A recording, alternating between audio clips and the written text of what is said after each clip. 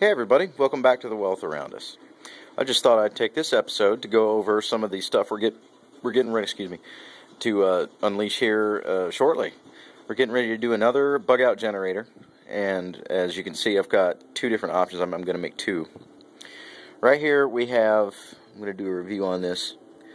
The Coleman solar panel, and on the box it's got this bolted onto the front of a four wheeler. And uh, what this is is a 12 volt 4.5 watt. I forget the amperage and all that, but it's uh, 12 volt at 4.5 watts. Good, nice, solid power supply. As you can see, even the light in here has it turned on, that blue LED.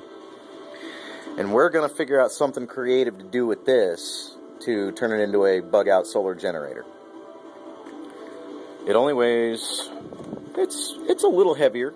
One thing I don't like about it already is uh, that I have to say, you should make solar panels out of unbreakable materials because the one I, the first one I got from Walmart had to be taken back because it was cracked right here.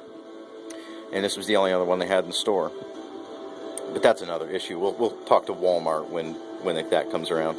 This right here, I bought at Northern Supply Company. This is a 12 volt battery maintainer.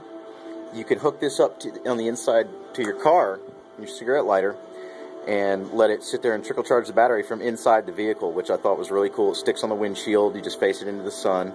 Uh, this would be a great way to keep the CRV bug out vehicle alive and running, or if I run the battery down, leave it in the sun, I can charge it.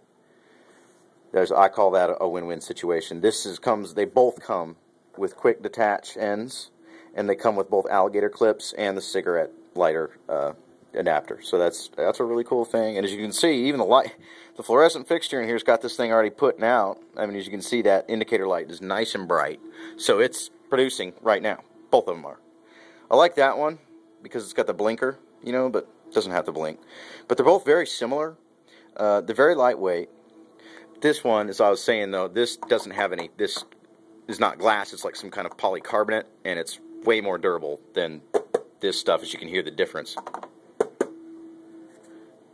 But this stuff is glass. This will this will crack right on you, and that's one thing I really want to watch out for. I might build a guard over it or something. I'm gonna have to overcome that hurdle now, though, because it's fragile, and we can't have fragile on the wealth around us. That's not gonna do.